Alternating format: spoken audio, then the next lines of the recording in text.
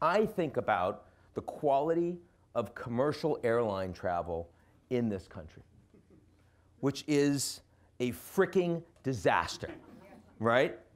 And the reason it's a disaster is because over the past 20 years, everyone that could afford to have better plane travel and was in the front of the plane and had loud voices and had influence politically and made sure that if things didn't go well, they would bitch about it, are now basically flying private. Either themselves or they've got, you know, they've got options, they do, you know, they, they do the jet share, the NetJets. And so as a, as a consequence, the people that are left that are flying through their basic terminal in Newark and LaGuardia is everybody else. It's the aggrieved masses, right?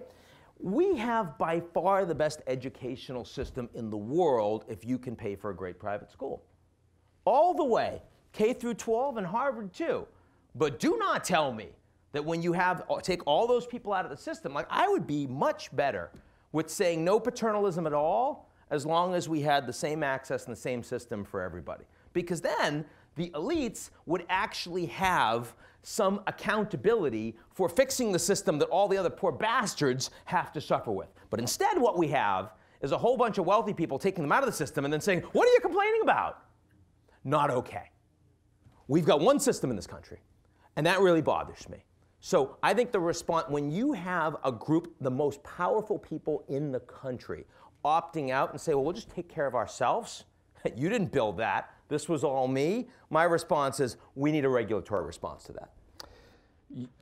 That was a very clever device of hitching airline travel and education as to because I think education and airline travel are quite different. They are different. Now, as anybody here knows, if you're watching me, you know, on the live stream, um, I have some you're thoughts about airline travel. Off, are you? Yes, everybody leave their shoes on. Um, I have flown in the front. I've flown in the back. Uh, at the time deregulation happened, only about 15% of American adults had been on an airplane, had taken a commercial flight. Really? Uh, you know, we're talking the 70s. After deregulation, now about 85% of American adults have flown a commercial flight, and I wish they wouldn't. Because people fly, because again, it's discretion, it's a discretionary thing now. Why do you fly? Because you can. Um, and then people complain about it. And they say, well, I can't, you know, I, the seats were so small. I had to take my shoes off um, and do yoga. Uh, and, you know, to me, the hell of airline travel is other people. Uh, and I can't opt out of the system. But I, I think what was, what's lost in this is this country, rich or poor, people fly like it's nothing, like at the drop of a hat. I was coming back from um, Ireland. And this was, of course, you know, anecdotes are not data, but um, I, am going to tell a story anyway. The guy behind me was horrendously hungover, and I knew this because he kept saying it to the guy sitting next to him. And um, and, he, and I'm listening to this conversation. He says, "Yeah, I was in Berlin. I was partying for a weekend." And they're talking. He says, "What do you do?" Well, I'm a grad student. I'm a grad student in Boston. he said, "What were you doing in Berlin?" He said, "It's cheap. I decided to go see some friends and party for a weekend." Well, all of us here have been through graduate. The, the, idea of taking a weekend off of graduate school and getting totally, you know, loaded in Berlin for three days was completely unaffordable. But with cut rate airlines and deregulation, a graduate student can say, you know what, I'm going to go to Berlin. I'm going to go to an Airbnb or a, you know, a, a flop with a friend. I'm going to go out and party. Um, and that is things like destination weddings um, you know, going to Bali, things that, that thing, that, uh, one of the things I raised in a, one of our internet discussions about, um, you know, going to Disney World used to be a once in a lifetime thing. Now it's a frequent flyer program. So, you know, I, I'm, I'm willing to shift the discussion over to education, but when you're talking about the discretionary use of something that we once considered a luxury that people now consider a right, this is part of the problem I'm talking about, where people talk about air travel isn't pleasant enough and I feel like I'm on the verge of that old Louis C.K. bit about, and yet you flew in a chair that went into the sky. Um, now, but with education, I think, yes, I think as with everything in a democracy, the ability of the wealthy and the educated to opt out at will is a problem. And that, that becomes a problem of fundamental freedom. Uh, because I've been on both sides of that. I lived in a town for a while where I opted out of the public school system with my daughter, uh, but who now goes to a public school. Um, I think you know there's a there's an issue here about. I mean, I chose as a teenager to stay where I was and go to a public school. I, um, you know, my parents wanted to try to give me some other opportunity. Wouldn't would have been difficult to afford. All of the problems that you know about.